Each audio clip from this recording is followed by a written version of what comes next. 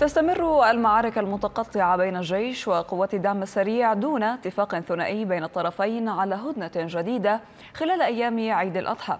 وقصف الجيش بالطائرات الحربية مواقع الدعم السريع بمنطقة شرق النيل شرقي الخرطوم وجنوب أم درمان وقال ضابط في الجيش إنه في حال استمرت سيطرة قوات الدعم السريع على الاحتياطي المركزي سيكون لها تأثير كبير على المعركة في الخرطوم.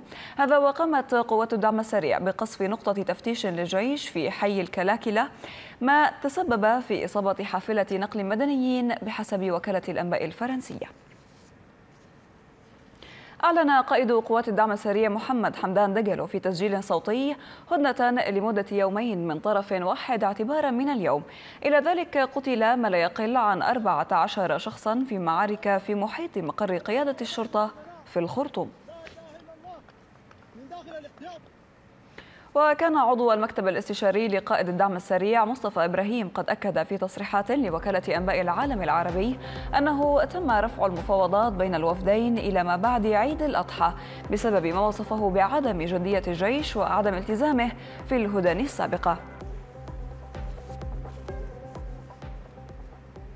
هذا وأقر الجيش سيطرة قوات الدعم السريع على أحد المقرات التابعة للشرطة بعد هجوم استمر ثلاثة أيام متواصلة.